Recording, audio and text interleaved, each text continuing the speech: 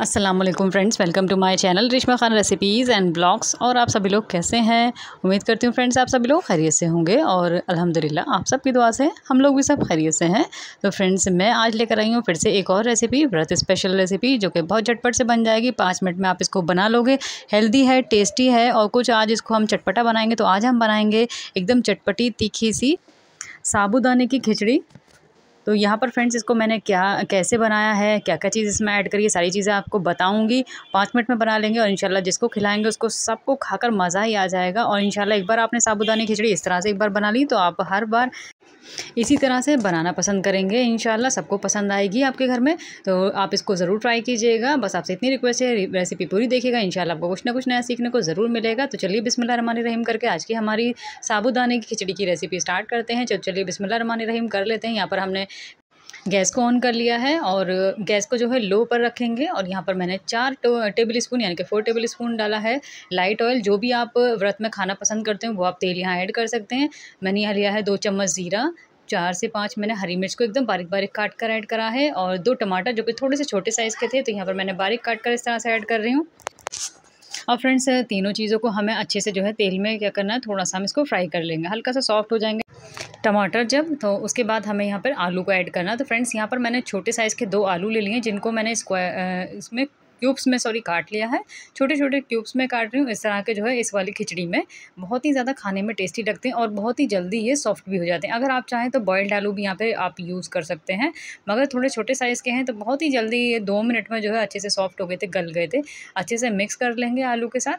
और आप जितनी क्वांटिटी में बना रहे हैं, आप उस हिसाब से यहाँ पर आलू और सारी चीज़ें ऐड कर सकते हैं। यहाँ पर मैंने आधी कटोरी ले लिया है पीनट्स यानी कि छिली हुई मूँगफली को मैं डायरेक्ट ऐसे ही डाल रही हूँ, मैंने इनको रोस्ट नहीं करा है डायरेक्ट ऐसे ही डाल रही हूँ।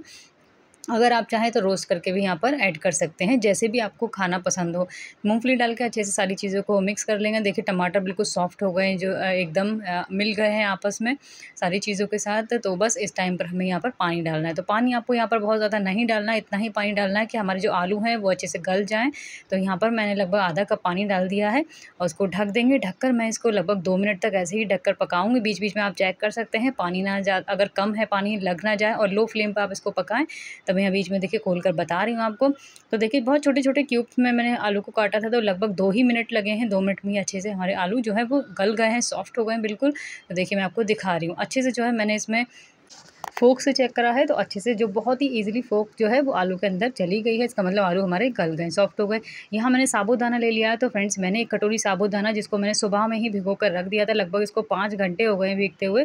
तो अच्छे से साबुदाना भीग गया है अच्छा और ये थोड़ा सा इसका जो साइज़ है वो डबल हो गया है। तो जब भी आप साबुदाना किसी भी चीज़ में ऐड करें तो लगभग चार से पाँच घंटे तक आप इसको अच्छे से जो है पानी डालकर भिगो दें।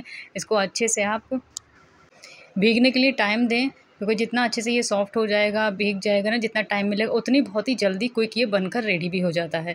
तो फ्रेंड्स यहाँ पर देखिए, मैंने अच्छे से साबुदाना डालने के बाद मिक्स कर लिया। अब यहाँ पर मैं ले रही हूँ, लगभग पंद्रह से बीस मैंने यहाँ पर मखाने ले लिए हैं। तो इस रेसिपी में मखाने का टेस्ट भी बहुत ही बढ़िया आता है। तो यहाँ पर मैंने मखाने को ऐड कर दिया है और मैंने यहाँ कुछ हरा धनिया काट कर रखा है तो आधा हरा धनिया मैं अभी इसमें ऐड कर दूँगी। बाद में मैं पकने के बाद ऊपर से ऐड करूँगी। हरा धनिया ऐड कर देंगे और जो लोग व्रत में हैं जो भी चीज़ें आप नहीं खाते हो, वो आप यहाँ पर स्किप कर सकते हैं। धनिया अगर आप नहीं खाते हैं तो हरे धनिया को आप स्किप कर सकते हैं और अगर खाते हैं तो आप इसको डालिए हरे धनिया से फ्लेवर बहुत अच्छा आता है, देखने में भी हमारी डिश अच्छी लगती है। अब यहाँ अच्छे से मिक्स कर लिया है। मैंने यहाँ पर पानी डाल दिया तो बचा हुआ आधा कप जो पानी था, उसको मैं यहाँ पर डाल दूँगी। और डालने के बाद मैं यहाँ पर नमक टेस्ट कर रही हूँ तो फ्रेंड्स क्योंकि मैंने जो है स्टार्टिंग में नमक नहीं डाला है बिल्कुल लास्ट में इस टाइम पर मैं नमक ऐड कर रही हूँ तो मैं यहाँ पे फ्रेंड्स जब मैंने नमक ऐड किया है इसमें तो मैं जो है शूट करना भूल गई हूँ। पता नहीं क्लिप जो है वो नहीं मैं सेव कर पाई हूँ। तो मैंने इस टाइम पर यहाँ पर पानी के साथ नमक भी ऐड किया है तो आप अपने टेस्ट के अकॉर्डिंग जो भी आप नमक खाते हो व्रत में, वो आप ऐड कर सकते हैं। ढककर बस आप इसको लगभग एक मिनट जो है इसको पकने दें लो फ्लेम पर बिल्कुल। और देखिए कंसिस्टेंसी कुछ इस तरह की हो जाएगी, तब आप समझ जाइए कि आपकी जो खिचड़ी है एकदम चटपटी, मसालेदार बनकर तैयार हो गई है। तो फ्रेंड्स मैंने गैस की फ्लेम को ऑफ़ कर दिया है। और ये खिचड़ी आप इसी तरह की इसी कंसिस्टेंसी की बनाइएगा तो मज़ा ही आ जाएगा। एक बार मेरे कहने पे इस तरह की खिचड़ी आप बना के ज़रूर खाइएगा साबुदाने की और आप जो भी अलग अलग तरीके की बनाते हैं ना, वो सब भूल जाएँगे। इतनी ज़्यादा टेस्टी और अमेजिंग लगती है फ्रेंड्स कि आपको व्रत में मज़ा ही आ जाएगा खाने में और आपको अगर भूख लगी है तो आप इसको बनाइएगा इन आपका जी भर जाएगा ये खाने के बाद। तो यहाँ पर मैं इसको डिश आउट कर लेती हूँ। तो सर्व कर रही हूँ मैं फ्रेंड्स इसको। माशाल्लाह बहुत ही टेस्टी लग रही हो फ्रेंड्स खाते टाइम आलू का जो टेस्ट है वो बहुत ही बढ़िया आ रहा था, मखाने का फ्लेवर बहुत अच्छा आ रहा था। और जिसमें हमने पीनट यानी कि मूँगफली डाली है, उसका जो क्रंच है वो बहुत ही ज़्यादा यम्मी लग रहा था, साबुदाना एकदम सॉफ्ट हो गया है।